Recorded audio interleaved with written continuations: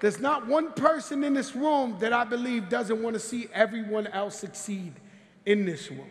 And that's the secret to our success. But this has to be your time. You have to find the strength within you to level up. Every time I have anyone doubts me, I use that as energy, as fuel, so I can succeed. I call this the Mamba like mentality.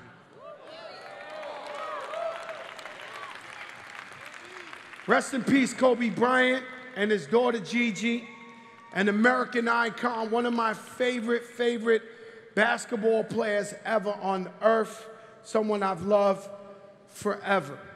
Uh, the other day, the Lakers had did one of the most beautifulest tributes in the universe to Kobe. And uh, I started to tear. I'm sure everybody who watched this cried. It was in memory of him and his daughter. And uh, it was so emotional I could barely watch. And for sure, the Lakers and the Lakers uh, faithful, they needed this fairy tale ending. They needed the Lakers to win for Kobe that day. And uh, LeBron gave such a beautiful speech. And so they went hard at each other. They played the Portland Trail Blazers. They had Mark Market America's own Carmelo Anthony and a young red hot Damian Lillard. So they faced off.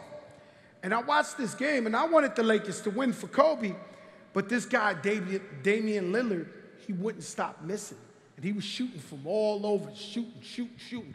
And LeBron and them kept trying to stop this guy, but they couldn't. It was like he was possessed. So unfortunately, uh, the fairy tale didn't end this, the right way. The Blazers won, right?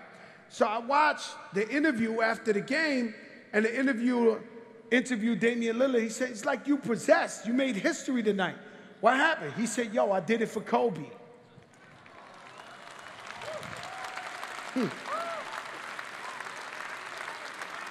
He said, I did it for Kobe. See, it doesn't matter what team you are, if you're on Elizabeth Weber's team or Team Fat Joe or Team whatever. You have to have the Mamba like mentality in order to succeed. We all in this together.